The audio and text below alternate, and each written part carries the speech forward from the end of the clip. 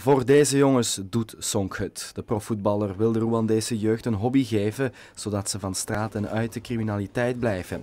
Het geld dat Sonk met zijn Afrika-team heeft verzameld gaat naar een sportcentrum in Rwanda dat zijn naam zal dragen. Met deze solidariteitsactie kan het centrum eindelijk afgewerkt worden. Die cheque gaat dan nu dienen voor ons project na twee jaar te finaliseren.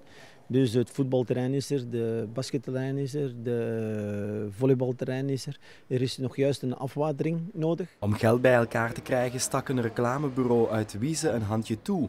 Deze bestelwagen, barstensvol publiciteit van Ninofse zelfstandigen, zal de komende drie jaar in de stad rondrijden. Wie met zijn bedrijf op de bestelwagen reclame wil maken, moet daarvoor natuurlijk betalen, maar engageert zich meteen voor het project. Toen mij twee jaar geleden de, de vraag gesteld werd van uh, zie je dat zitten, uh, heb ik daar eigenlijk geen moment over getwijfeld. Ik kende ook al een beetje het verhaal van Jean-Pierre, wat zij deden, hoe het allemaal in elkaar zat.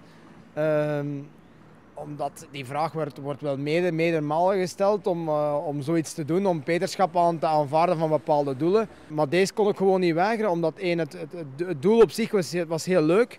En ook omdat ik de mensen heel goed ken en daarom heb ik dat gedaan. Wat gebeurt er? Wij kopen een bestelwagen aan. Gedurende drie jaar rijdt het Afrika-team daar intensief mee rond.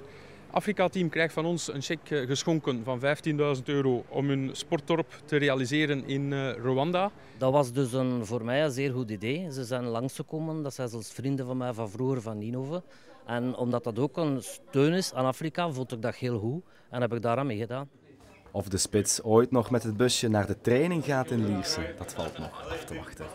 Nee, maar ik heb gehoord dat het alleen maar in Groot Nino zou, zou gereden worden, dus uh, ik denk het niet.